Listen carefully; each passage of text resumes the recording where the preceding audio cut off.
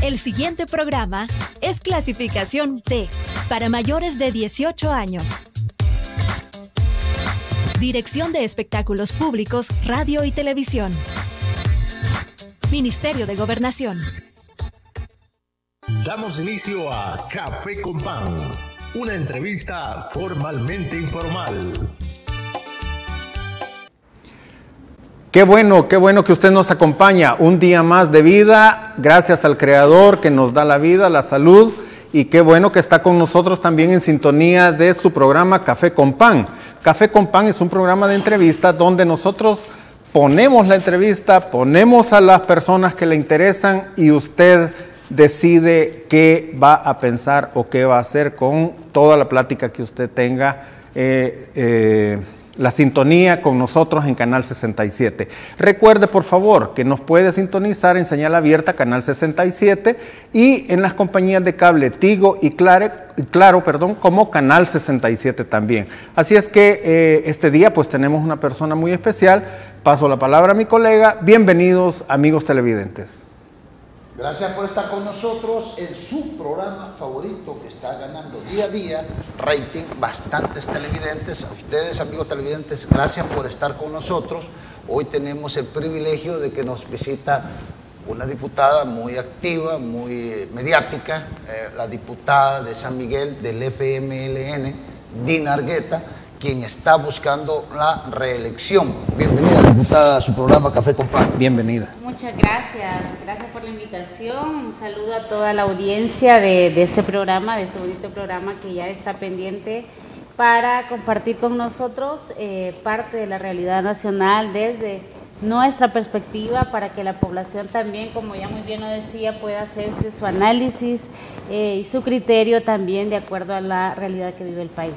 Diputada, háblenos un poco de las internas del FMLN, cuándo van a ser, cómo están organizados a nivel nacional y sobre todo en su departamento, eh, cuántos alcaldes eh, lleva, eh, cuántos hay, o sea, cuántos quedaron. ¿Y cuántos ya? Háblenos de su reelección, por favor. Bueno, yo debo decir que nuestro partido FMLN está en el proceso de, en la recta final del proceso de elecciones internas de los candidatos y candidatas que van a presentar y a representar a la población salvadoreña eh, en los comicios 2024. el próximo domingo 16 de julio vamos a elegir, eh, nuestra militancia va a elegir a los mejores hombres y mujeres que van a representar al departamento de San Miguel a nivel nacional, pero también eh, particularmente en el departamento de San Miguel a, eh, en este caso, los tres municipios que ahora se, han conformado con las nuevas reformas que,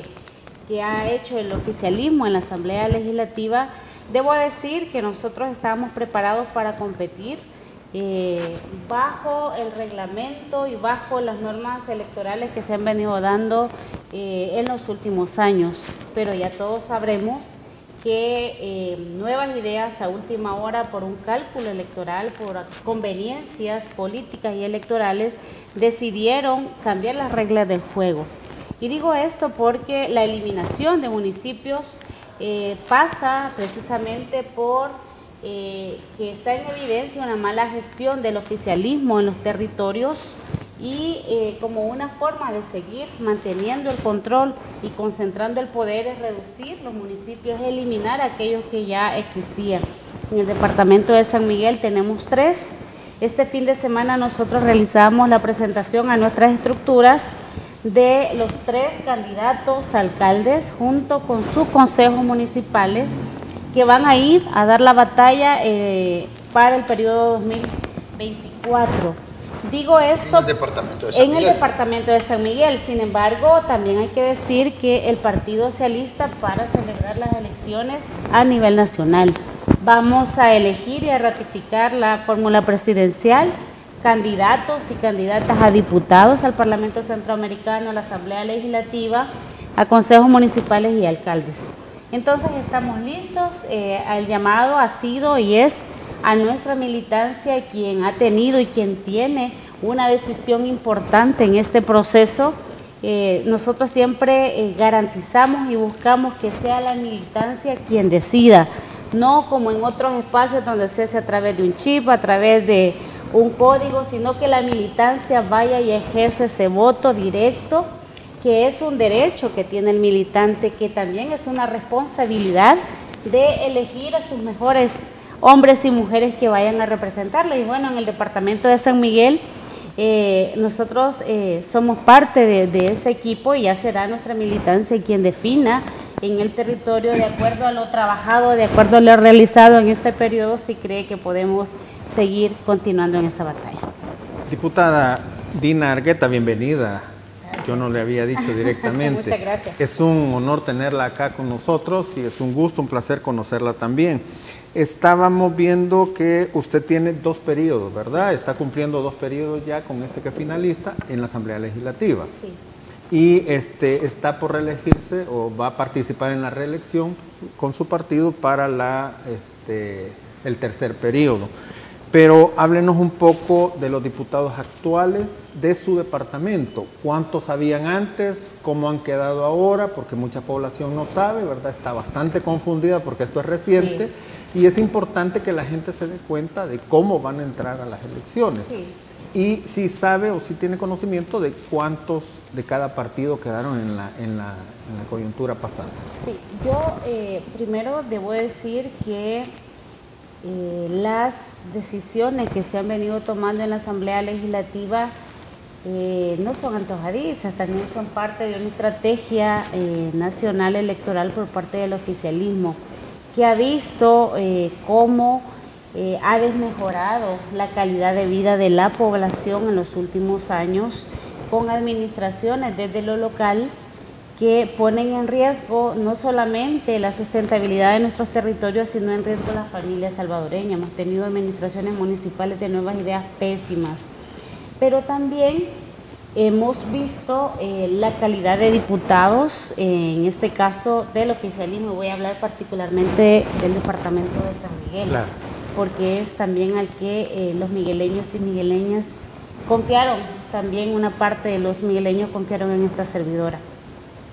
Actualmente en la Asamblea Legislativa eh, habemos seis diputados del departamento de San Miguel, debo decir que soy la única diputada eh, de la oposición en el departamento de San Miguel, porque los otros cinco representan al oficialismo. ¿Por qué digo esto? Pero Nueva- no todos son de nuevas ideas. Nuevas Ideas tiene tres diputados, eh, que son, eh, en este Tres de caso, seis, ¿va? tres de seis. Y eh, hay un diputado del PDC y hay un diputado de Gana, pero que ya sabemos que en su actuar y en su forma de, eh, en esta legislatura ha sido ser uno más. Es uno más de lo- eh, o creerse uno más del oficialismo, porque no es que sean del oficialismo, sino es que son un- eh, se creen, ellos creen que se- son parte simple y sencillamente los utilizan. Pero en el departamento de San Miguel, de los seis, soy la única que en este La única caso opositora. la única en este caso, digamos, de una voz disidente, una voz crítica, porque no hay, también hoy en el país la oposición se ha entendido o se ha dado a malentender a la población. Es decir, que ser de oposición ahora significa oponerte todo y eso no es cierto, eso es falso. Somos, eh, digamos en este caso, la única voz crítica, la única que no le seguimos el cuento o la única que no estamos para el son que toca el oficialismo. Claro, apoyamos el oficialismo cuando son aquellas acciones que son de beneficio para la población, pero también tenemos un criterio, es decir, a nosotros no nos manejan, a nosotros no nos dicen por qué vamos a ir a votar, simple y sencillamente tenemos un criterio, razonamos nuestro voto, el por qué votamos a favor o el por qué votamos en contra. los Y eso- de la fracción. Eh, lo hacemos eh, de acuerdo a los temas, eh, pero también yo debo decir que el diputado que busca o la persona que busca ser un representante de la población salvadoreña o una persona que busque ser diputado debe saber a qué va, por qué va y también en un momento determinado a la hora de tomar decisiones debe tener criterio propio. Porque si no, ¿para qué se necesitan los diputados si las decisiones llegan de otro lugar? Siempre hay una línea de partido, es obvio, ¿verdad? Que hay una política de partido, pero eh, lo que se espera, o por lo menos la población es lo que esperamos, es que haya un, como usted dice, un criterio, un razonamiento.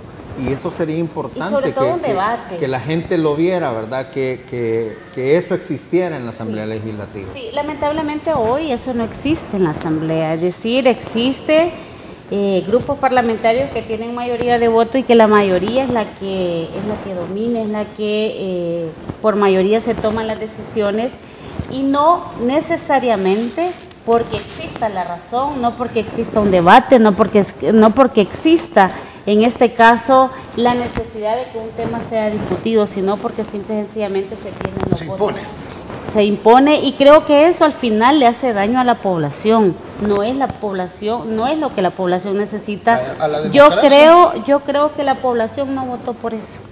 La población votó y confió en 84 diputados de diferentes partidos políticos, con una represión proporcional diferente, sí, pero confió en 84 diputados que llegaran a la Asamblea Legislativa, que discutieran los problemas que afectan a la población.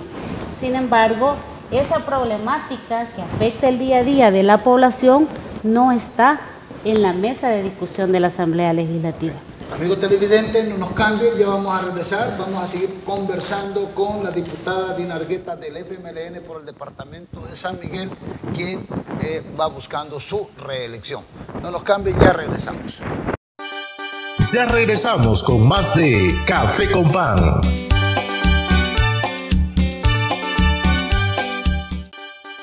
Continuamos con más de Café con Pan. Gracias por continuar con nosotros aquí en su programa favorito Café con Pan. Recuerde, nos puede ver en Canal 67 Señal Directa Nacional, Canal 67 Cable Tigo, Canal 67 Cable Claro a nivel nacional.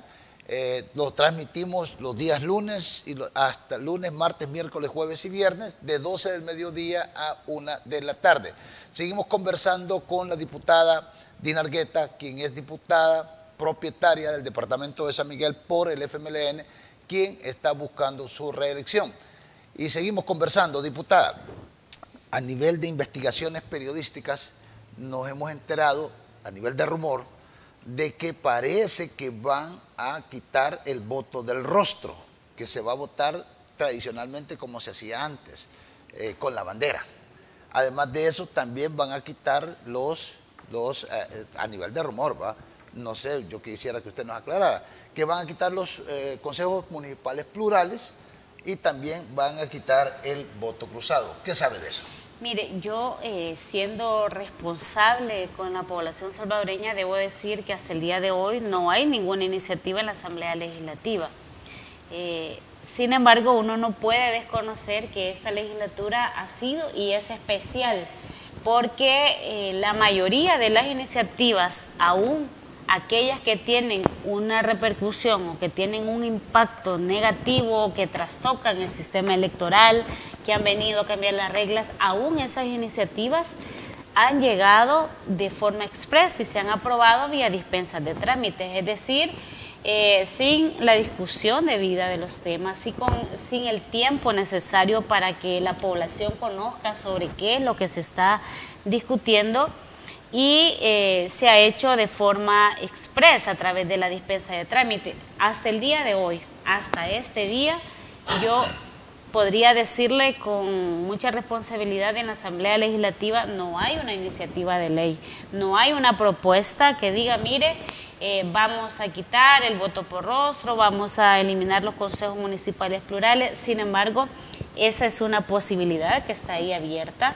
¿Por qué? Porque ya lo han dicho, algunos diputados eh, del oficialismo lo han externado, que eh, en el caso eh, particular de los consejos municipales plurales, ellos se refieren a esto como er, un error. Y yo debo decir que la visión de los consejos municipales plurales era primero que la, que la voluntad de la población de forma representativa se respetara en los consejos municipales. Es decir, aquel eh, ciudadano o aquel ciudadano que votó por una cierta parte de, de, o de representantes de un partido político tuviera su representación dentro del Consejo Municipal. Además de que en el ejercicio de las funciones esto permitiría mucha más Contraloría, un ejercicio más abierto, eh, porque estaríamos o se estaría expuesto, mejor dicho, a que los demás partidos políticos representados dentro del Consejo Municipal ejercieran este, este espacio de Contraloría. Sin embargo, tampoco hay que desconocer que el oficialismo, el tema de la Contraloría, la transparencia, la rendición de cuentas le hace roncha, como bien decimos eh, en buen salvadoreño, es decir, son enemigos de la transparencia, son enemigos de la rendición de cuentas. Entonces, ¿qué se busca? Si ya hoy el oficialismo a nivel gubernamental ha cerrado el espacio para que la población conozca el quehacer de todo el funcionariado público, se ha reservado información por siete años en la Asamblea Legislativa y en otras instituciones.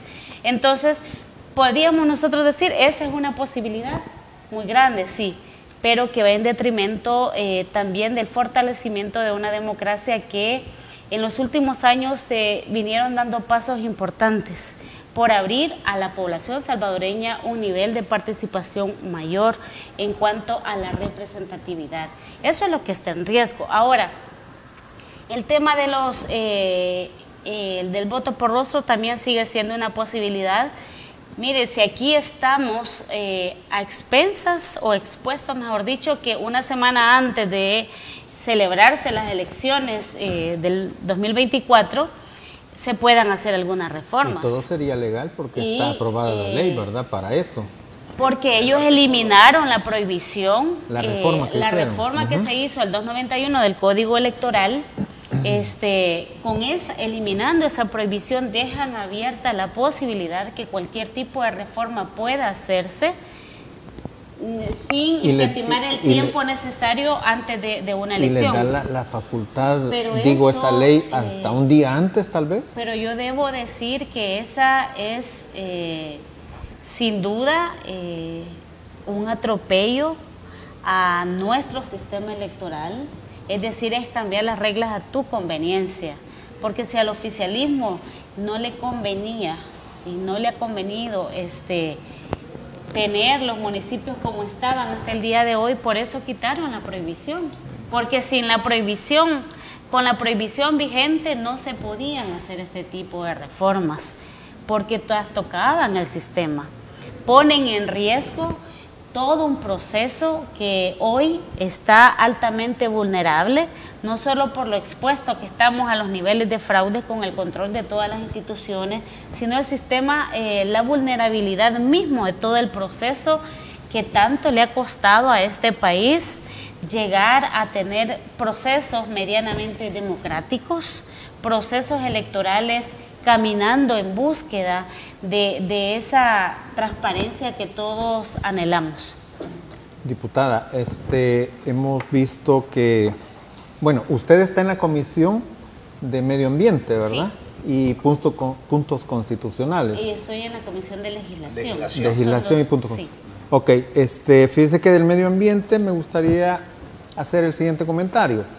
No me lo estoy inventando, sale en redes sociales, lo vemos en las noticias, que muchos ambientalistas están poniendo el dedo en la llaga, que ahora ha habido más permisos para algunas cosas, ¿verdad? Que están eh, afectando bastante el medio ambiente. ¿Se discute esto en la comisión o no tiene nada que ver o cómo está? No, la comisión, mire, eh, parte del funcionamiento de la Asamblea Legislativa hoy es que las comisiones no sesionan, de hecho a mí me acaban de avisar que se suspende la comisión de legislación que estaba para este día. Entonces, ¿qué significa esto? Que no hay un trabajo previo a la sesión plenaria.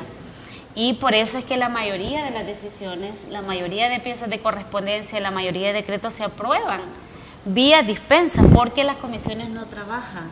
La Comisión de Medio Ambiente no es la excepción, ya tiene varios meses de no sesionar, de no sesionar eh, y eso es, es preocupante porque si usted va y escucha o ve las redes de los diputados del oficialismo que son parte de esta comisión, dice que tienen un compromiso serio con el medio ambiente, pero es que aquí de palabras bonitas y de discursos no se resuelven los problemas. El tema medioambiental en la Asamblea Legislativa en esta legislatura ha sido de los más ausentes. Hablo del tema ambiental de manera integral porque no se trata de hacer una ley eh, ahí para ir a sembrar plantitas ornamentales a la ruta de las flores. Por lo general Entonces, eh, ¿qué ha pasado? ¿Qué ha pasado en esta administración del gobierno y qué ha pasado en esta administración de la Asamblea Legislativa con el tema medioambiental? Uno de los logros más importantes que el gobierno dice que ha tenido en materia medioambiental, no lo digo yo, lo dice el informe que el Ministerio de Medio Ambiente llevó el año pasado a la Asamblea Legislativa, decía que uno de sus logros más importantes era la, este, digamos, la consecución de, o la liberación de 2 mil millones de dólares en inversión en permisos ambientales. Es decir, la competencia del Ministerio de Medio Ambiente, dada de acuerdo a la Constitución de la República en el artículo 117, es la protección, el resguardo y el cuidado del medio ambiente. Pero la autoridad medioambiental dice que ha dado 2 mil millones de dólares en permisos. ¿A qué Entonces, ¿qué significa esto? Le, ha dado permisos a, grandes constructoras, urbanizaciones, eh, entidades que vayan y exploten nuestros bienes naturales. Es decir, el ministerio ha conseguido 2 mil millones de dólares para el país en inversión, pero inversión a costa de qué? Sí, del deterioro Entonces, aquí los salvadoreños hemos visto a través de las redes sociales, por ejemplo, que en Nuevo Cuscatlán, que ha sido uno de los municipios insignes para este gobierno, en Nuevo Cuscatlán han dado permisos para construcciones de eh, zonas residenciales en, una, en áreas naturales protegidas. Entonces, ¿qué y cuál es el compromiso con el medio ambiente? Si están permitiendo que se construya en zonas protegidas y que esto lleva un gran nivel de tala de toda la vegetación que existe ahí. Hemos visto las especies, hemos visto los animalitos que andan corriendo por las calles porque han perdido su hábitat. Entonces, ¿dónde está el Ministerio de Medio Ambiente? Es decir, no hay una política seria medioambiental en el país. Y si ya vamos a la Asamblea Legislativa, pues tenemos diputados eh, en mayoría que conforman esta comisión que hacen caso omiso al tema medioambiental. Ahí eh, nosotros presentamos eh, a la Asamblea Legislativa una propuesta de ley de reducción de plásticos todos sabemos el impacto que los plásticos ocasionan en la vida, en la salud y en toda la biodiversidad del planeta. Entonces, algo hay que hacer en el país sobre eso. Sin embargo, esta propuesta de ley no la han querido estudiar, nadie sabe dónde está, ni siquiera la pasaron a la Comisión de Medio Ambiente. Ahí está pendiente en la Comisión de Medio Ambiente también eh, el estudio de, de una propuesta de ley de prohibición de agrotóxicos qué tan importante y necesario es para el país el estudio, eh, en este caso la permisibilidad o no de los agrotóxicos. Se refiere a los pesticidas. A los pesticidas. Más conocidos como pesticidas. Sí, más conocidos como pesticidas. Entonces, ¿qué significa eso? ¿Lo han querido estudiar? No. Ellos dicen que no. Y para muestra un botón, el 27 de mayo del 2021, recién ingresada a esta Asamblea Legislativa, se aprobó un dictamen por la Comisión de Medio Ambiente que llevaba consigo las reformas a la ley de medio ambiente.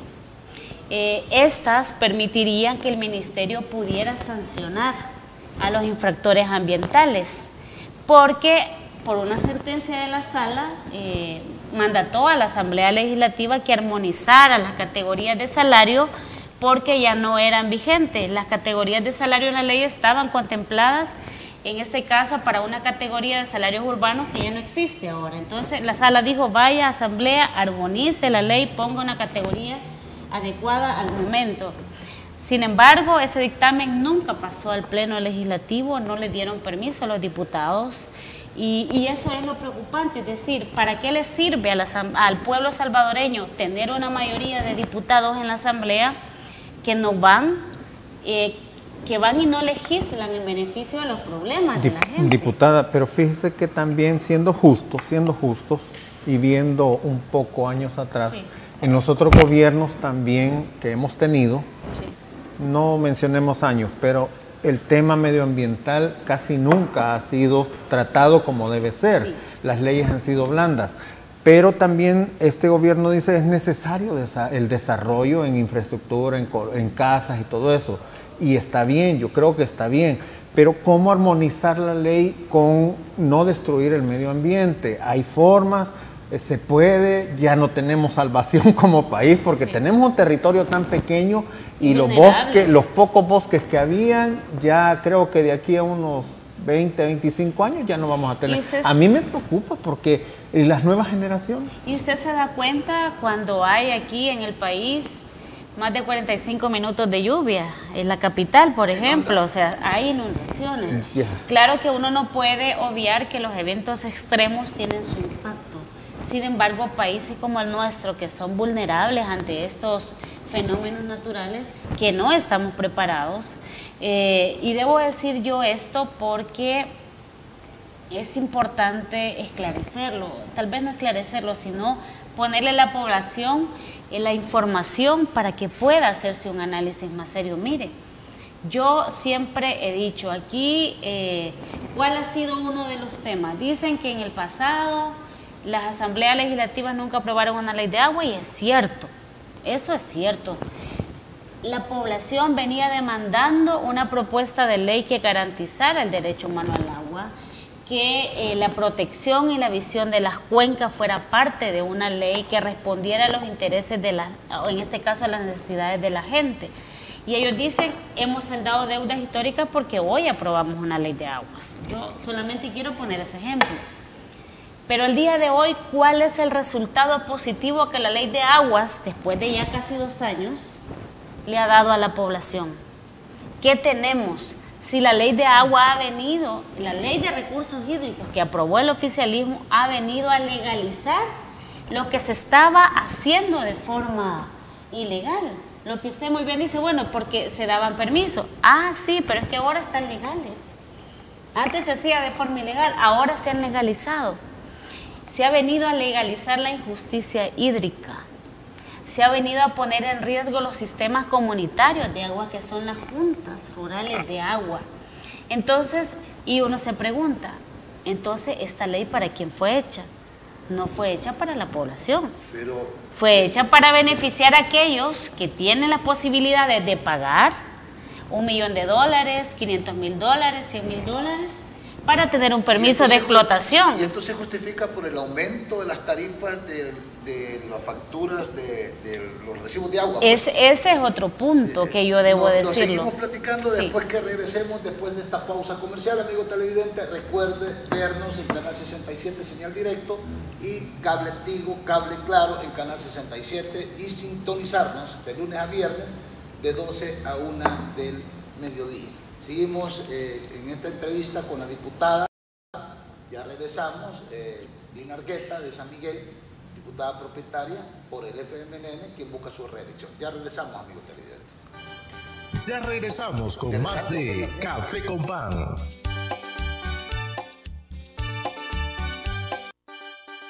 Continuamos con más de Café con Pan. Gracias, estimados televidentes, por seguir en sintonía de Canal 67 y estamos en su programa muy, muy popular ahora, es Café con Pan. Y eh, se encuentra con nosotros en la entrevista la diputada por el Departamento de San Miguel y el partido FMLN, Dina Argueta, con quien seguimos platicando, colega. Diputada, obviamente no va a haber la ley, esta, no van a, derogar la ley de, ¿cómo le llaman? De transfuga. De transfuga, obviamente. Eh, pero a mí me gustaría hacerle dos preguntas. ¿Hay separación de poderes en el país? No. Hay, este, ah, que hablemos de la canasta básica, háblenos cómo, cómo, lo siente la población, cómo lo ven ustedes los diputados, eh, la canasta básica, ¿qué, qué, tanto puede accesar el pueblo salvadoreño a esos alimentos, a, pagar los recibos del agua, de la luz, del, del internet, del teléfono, etcétera? Háblenos de todo eso, de la economía, háblenos, la economía de los hogares. Sí, bueno, yo solamente debo, por lo que usted primeramente me preguntaba, que si es que en el país tenemos separación de poderes y totalmente no. No hay una separación de poderes porque ahora Eh, los poderes del Estado son controlados eh, desde un mismo lugar, bajo una misma visión y no desde los principios que la Constitución establece. Muestra de ello la Asamblea Legislativa que ha perdido su carácter deliberativo, que los diputados han perdido la posibilidad de tener análisis propios de la realidad. Eh, y lo único que vemos son diputados eh, que en mayoría eh, llegan y apretan un botón felizmente por lo que les dicen. Lamentablemente, y ese a mi criterio, ese es un fraude al elector, es un fraude a la, a la población salvadoreña porque se vendieron con la, con la población como aquellos que iban a ir a resolver los problemas. Sin embargo, los problemas de la gente siguen estando ahí. Y de esos problemas, uno de los que más impacto tiene en la vida de la población, en la economía familiar de la gente, es el alto costo de los precios de la canasta básica. Entonces, para nadie es un secreto que eh, tenemos la canasta básica o hemos tenido en estos meses atrás la canasta básica más alta de toda la historia. Si las hemos tenido hasta las tortillas más caras en los últimos meses, marzo fue uno de los meses más críticos en el tema del precio incluso de las tortillas. Y ahora han quedado reducidas. Entonces, eh, y que es parte de la dieta de nuestra gente, ¿verdad? Entonces, eh, eh, uno no puede desconocer que la población que muchos eh, en estos últimos años han perdido su empleo formal, que han dejado de tener ingresos formales eh, para su hogar, han pasado a las filas de, ahora se le llama elegantemente emprendedores, entonces emprendedurismo, pero son trabajos informales, son cuentapropistas, es aquel aquella familia, disfrazado, el, padre de familia que como no hay otra alternativa tiene que salir de su casa en buen salvadoreño rebuscarse para llevar la comida para sus hijos al final del día.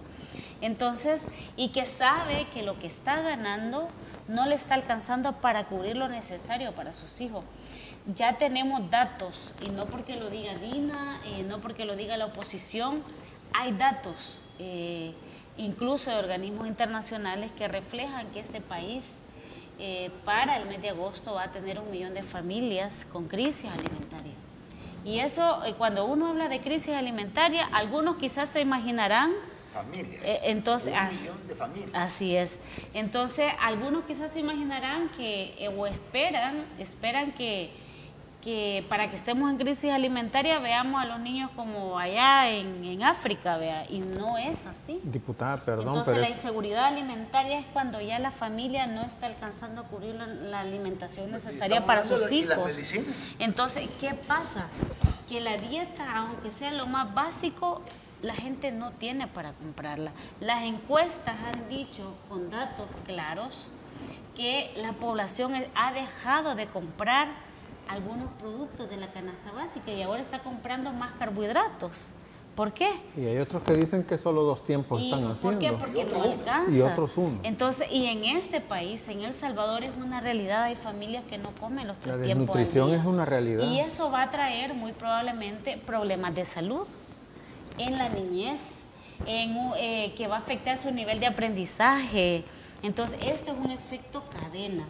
Entonces... Y están dando el vaso de leche en Y hemos dicho, y, hay datos comprobados, eh, datos incluso del mismo gobierno, que reflejan que la pobreza ha aumentado en cuatro puntos en los últimos años. ¿Y estaba cuánto? Estaba en, eh, ha aumentado en cuatro puntos. Debo decir yo, en ese sentido, que tenemos, al menos hasta hace unos meses, 55 mil hogares más de los que ya teníamos, que, se, que ya se ha sumado a la, pobreza.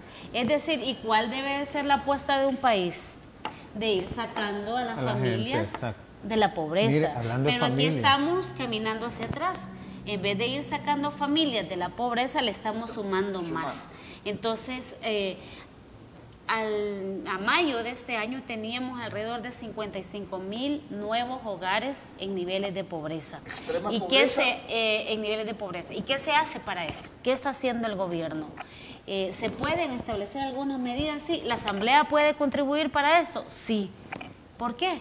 Alguien dice, miren, y el discurso es que miren, todo, en todo el mundo está cara la comida, están caros los alimentos. Hay crisis en todo el mundo. Y que tiene que ver con la, guerra de, de, Ucrania. De, Rusia, Ucrania. Entonces, miren, pero ¿y para qué existen los gobiernos?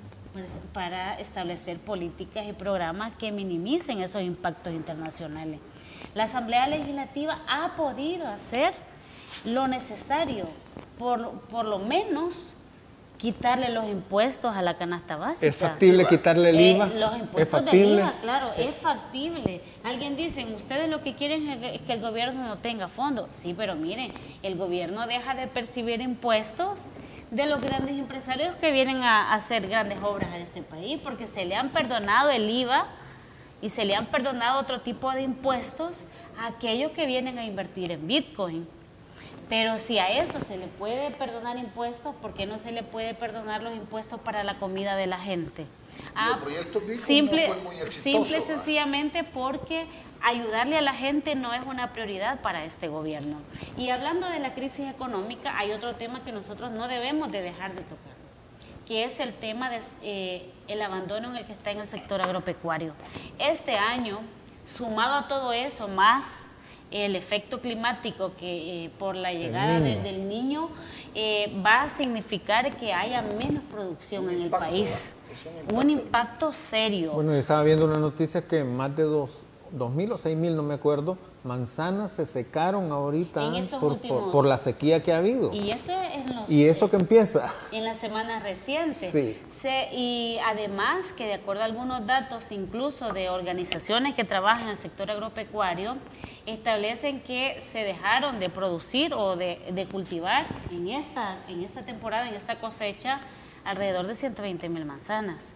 ¿Y eso qué significa? Que van a haber menos frijoles, menos maíz. va a poner más caro. Entonces, y si hay menos producción, entonces se va a poner mucho más cara la cosa. Se, si importa, se van divisas del país y entonces tenemos entonces, ¿Qué significa eso? Al final hay una problemática que afecta el día a día de nuestra gente. Si nosotros a todo este tema de, de los productos de la canasta básica, que, alrededor, que nosotros son 22 productos los que tiene nuestra canasta, dicen es que es la más barata de toda la región centroamericana, sí, pero nuestra canasta básica tiene 22 productos nada más, no se puede comparar con la de otros países que es mucho más amplia. Eso en primer lugar. Segundo, si ya nosotros le sumamos al costo de la vida en términos generales de la población salvadoreña, nos damos cuenta que los ingresos que la población está teniendo no están alcanzando. Si le alcanza para comprar los frijoles, el arroz y las tortillas para la familia, pero también tiene que pagar el recibo de agua, que en los últimos meses ha llegado con tarifas sumamente elevadas. Entonces, ha habido un aumento tiene, de 300%. Sí, eh, y en algunos casos hasta más. Entonces, tiene que sumarle a eso el pago de recibo de energía eléctrica. Que también ha subido. Y que esos son compromisos permanentes de la población. Si usted ya no pagó el recibo de agua y el de energía en dos meses, se, lo, se la cortaron. multa para poderlo reconectar Y sumado a ese tema de, los recibos de la energía, del agua potable, en los últimos meses uno de los factores que generó bastante problema en la población fue la instalación de medidores instalación de medidores. A partir de esa instalación de los medidores todo subió, subió sí, tremendamente. consulta con la población a usted. usted se dio cuenta. cobraron los medidores. usted se dio cuenta, amigo y amiga, que le habían cambiado su medidor cuando le llegó la factura. Y le llegó el recibo y le dijo, mire, le cambiamos el medidor, ahora usted tiene que pagarlo. Además del recibo, de la tarifa mensual, le cobraban los 40 dólares. Además de que aumentó, porque si yo antes pagaba, póngale 25 pesos, hoy pago 71. Nosotros no podemos, y yo lo, quiero decir esto para la población, que y ese no es con el ánimo de atacar o perjudicar a nadie, si es que nosotros quisiéramos que el gobierno le fuera bien y funcionara porque si le porque le resuelve los problemas a la gente, pero el punto es nos que afecta a todos si a pero el punto es que no se le está resolviendo los problemas a la gente. Los agricultores están abandonados, los ganaderos siguen con problemas. El no tener, eh, en este caso, que no hayan lluvias significa que no hay pastos, que los ganaderos van a tener que comprar también el alimento para su, para su ganado. Entonces esto lleva a que los productos lácteos se pongan mucho más caros y esto es es un efecto cadena. Pero ese efecto cadena, ¿dónde va a terminar? Allá, en el consumidor final, en el usuario. En el que menos puede adquirir. En el que menos posibilidad adquisitiva tiene, es decir, aquel que se rebusca y que allá en el campo la jornada laboral vale 7 y 8 dólares, póngale, que esos 7 y 8 dólares con una familia de 7 personas, si tuvimos momentos aquí y que no ha bajado mucho de precio, los huevos a 6 a 6.50, entonces es decir, un agricultor no alcanzó a cubrir y no está alcanzando a cubrir la comida de sus hijos. Y eso es grave, sí, y ese es un tema del que deberíamos de hablar diputados, alcaldes, presidentes, para ver qué hacemos. Pero de eso no se quiere hablar. Y cuando hablamos de eso dicen, ay, que ustedes quieren ver, mal al gobierno. No, queremos ver bien a nuestra gente. Y por eso proponemos. Nosotros propusimos en el 2021 una, eh, una ley en la Asamblea Legislativa que tenía que ver con la, eh, una ley para establecer precios de referencia a los insumos agrícolas. Miren, hombre, los agricultores saben cómo se han disparado los precios de los insumos agrícolas. Mucha gente dejó de, cultivar porque el precio del fertilizante lo compraba al doble, al 100%, ya no es rentable. Aunado a eso, el alquiler de la tierra. Es decir, cuando el agricultor finalizaba la cosecha quedaba debiendo. Entonces eso no es rentable. ¿Por qué? Porque en este país el gobierno no le apuesta a la productividad. Miren, en cuatro años el Ministerio de, Agricultura ha tenido cuatro ministros. Entonces, ¿cuál es la planificación? ¿Cuál es el plan para nuestros agricultores, para todo el sector productivo de este país?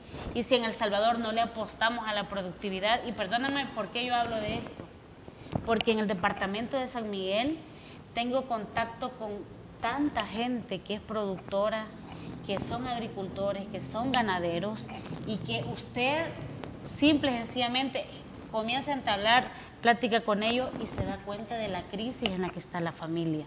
Claro, algunos no quieren hablar de esto porque no han llegado hasta ese lugar. Diputada, vamos a seguir hablando de este y otros temas en el siguiente... Eh, corte porque vamos a hacer una pequeña pausa. Amigo televidente, no nos cambie. Sigue con Café con Pan en este B, Canal 67.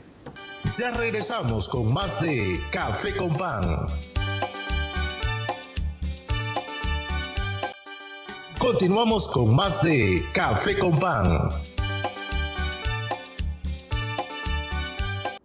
Gracias, gracias por estar en sintonía siempre de este Canal 67. Recuerde que nos puede sintonizar de 12 a 1 de la tarde todos los días de lunes a viernes y en señal abierta Canal 67 y las compañías de Tigo y Claro Cable en Canal 67 también. Continuamos con nuestro colega, con la entrevista con la diputada Dina Argueta del FMLN por el Departamento de San Miguel. Ella es diputada. Diputada, háblenos un poco del régimen de excepción. Ahí se ha escuchado que han habido violaciones a los derechos humanos, que han habido este, muertes dentro de los centros penales, uno les llaman asesinatos.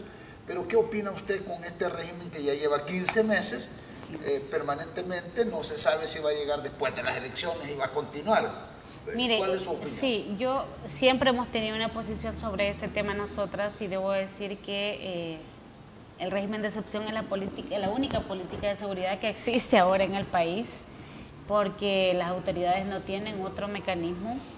Eh, lamentablemente, y debo decir que eh, se ha utilizado este tema como una herramienta electoral, como una herramienta que pueda generarle réditos electorales al partido oficialista.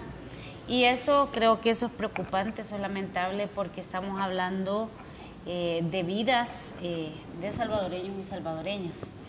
Eh, claro que mejorar los niveles de seguridad en el país a todos nos debe de, alegrar y satisfacer, sin embargo creo que no podemos tampoco pasar de lado aquellas acciones inocentes detenidos aquellas acciones que se están cometiendo en nombre del régimen de excepción las capturas de formas arbitrarias, porque el régimen permite capturas arbitrarias, eh, es decir, a discreción de las autoridades.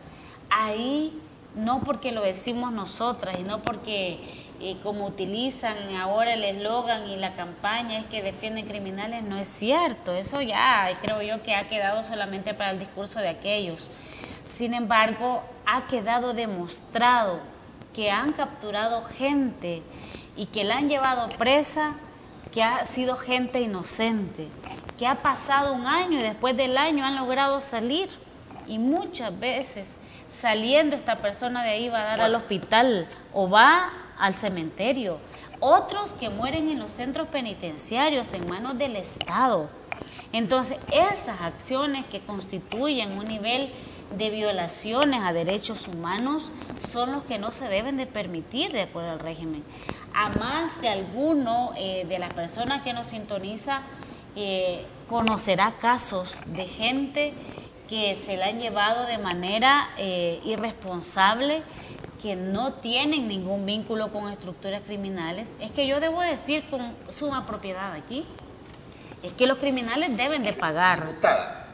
¿Qué porcentaje, si hay inocentes, qué porcentaje de inocentes son los que están dentro de los centros penitenciarios? El gobierno no se atreve a dar cifras sobre esto, sin embargo el gobierno mismo ha tenido que salir a decir, mire, eh, son daños colaterales, eh, eh, sí han habido márgenes de error. Eh, y al fin se aceptó por, por el fiscal, ¿verdad? Que, que han salido son inocentes. Él dice los que salen son inocentes. Ah, y esas personas no fueron inocentes desde el momento que les capturaron. Entonces, ¿y cuántas de esas personas que han salido, que dicen que son inocentes, perdieron su trabajo, perdieron sus derechos, otros perdieron hasta la vida? ¿Y quién le restituye todo eso? Eso, eso es responsabilidad del Estado.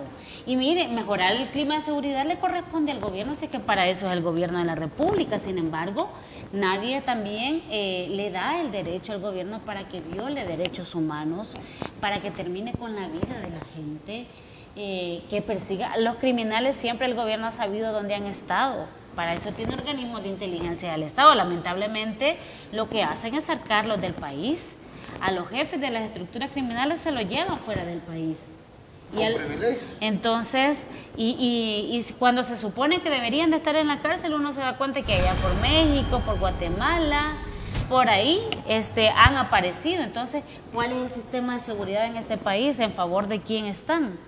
Entonces, eh, pero además nosotros no podemos obviar que el gobierno tampoco ha dado la cara y ha respondido por las, eh, las fosas clandestinas. Es decir, con un régimen de excepción, pero allá hay, hay muerte en fosas clandestinas donde, se encontraban 25 cuerpos eh, y eso nadie dijo nada. ¿Y el gobierno qué ha dicho? No ha dicho nada. ¿Quién es el responsable? Entonces, por eso uno dice que el régimen de excepción ahora es un mecanismo más de campaña política electoral. Estamos ya eh, a meses de que se celebren las elecciones y sin duda este tema van a seguirlo explotando. Cero homicidios, dicen ellos, más de un año de cero y, y, vamos a llegar, según su opinión, llegaremos con el régimen hasta la elección. Duda, definitivamente. De las elecciones, Muy probablemente. Eh, habrá habrá que ver habrá que ver después de las elecciones pero sin duda las elecciones la gente va a ir a votar a través o en medio del régimen de excepción. si hay balance de poder, digamos, que la oposición, porque para tener un régimen de excepción se necesita mayoría absoluta, el 75% de los votos de los diputados. Si no lo lograra obtener el oficialismo, ¿Seguiría el régimen de sección, por lo menos por parte nosotras, de Nosotras siempre hemos, hemos sido claras eh, de todas las prórrogas que ha tenido el régimen de excepción. Nosotros no hemos acompañado esta medida porque creemos que el gobierno, insisto, el gobierno tiene las herramientas legales, tiene las leyes, tiene los recursos. Ningún gobierno del pasado ha tenido los recursos que este gobierno tiene en materia de seguridad. ¿Habrá otra Entonces, razón, además de la seguridad? Insisto, aquí, hay otro, aquí hay otros mecanismos que han quedado y que obviamente no son públicos, pero la población también debe saber que el régimen de excepción le habilita el gobierno a hacer compras indiscriminadas, sin pasar por controles, respetando la ley, eh, dando contratos a sus cheros. Entonces, o sea, ahí hay, un, hay una serie de cosas que eh, de eso no se habla. Y que Mucha cuando tela se que cortar. Sí, sin duda creo yo Hasta que... dentro de siete años se va, a- va a saber la población. ¿va? Porque, Porque es está información reservada. reservada, es lo que decíamos al inicio. Nadie sabe siquiera ahora cuánto ha gastado el gobierno eh, en materia de seguridad en, en esos temas porque son reservados o a quién se han dado los contratos. Eh, miren, es bien Y son difícil. siete años reservados prorrogables, me imagino. O Ah, muy probablemente. sí. Eh, hablemos un poquitito del voto en el exterior, diputada. ¿Cómo lo ve usted? Mire, yo creo que sobre el voto del exterior, eh, bueno, nosotros lo hemos dicho siempre que es un derecho que nuestros compatriotas tienen. Se, vino trabajando en los últimos años sobre esto. Sin embargo, hoy eh, el oficialismo ha hecho de esto una algarabía que al final de todo pone también en riesgo la vulnerabilidad del mismo sistema. Eh, nuestra constitución establece que el voto es secreto y directo, pero ahora con las leyes y las reformas aprobadas por el oficialismo, la vulnerabilidad de esa secretividad del voto, de que está en riesgo, Se acabó. se acabó. Por el voto electrónico. Entonces, eh, incluso eh, por esa masividad, eh, uno no conoce al día de hoy de todo ese universo de pasaportes que se han dicho, porque ahora se va a poder votar con pasaporte vencido, vigente. Con DUI igual. Entonces, con DUI. Eh, vencido. entonces, ¿qué significa eso? Significa que hay ahí una serie de cosas que no quedaron normadas, que permiten eh, pensar que eh, quien controla ahora eh, pueda hacer los mecanismos necesarios para eh, obtener eh, ventajas, es decir, y no respetar el derecho de nuestros compatriotas. Eso es lo más, eso es lo más complicado, pues, porque al final si nuestros compatriotas en el, exterior votan, deciden, pero ese, ese voto se respeta eh, y se traduce así, pues qué bueno, pero lamentablemente el diseño de todo el voto en el exterior no está hecho para eso, está hecho para que se vulnere, pero sobre todo está hecho también para un fraude, un fraude de quienes ahora controlan las decisiones, de quienes controlan los procesos, de quienes controlan el sistema y lamentablemente aquel que debería de ser el árbitro en todo este proceso, que es el Tribunal Supremo Electoral, no está haciendo su papel, no está haciendo la labor de árbitro, no está poniendo las reglas claras y está lamentablemente callado. Amigo televidente, eh, el tiempo en televisión pasa volando, sobre todo cuando se platica Sí. con una diputada muy elocuente, muy carismática. Y muy- preparada. Muy preparada y muy, muy mediática, ¿verdad? Muy, muy aceptada, diría yo, por, Ay, por la población.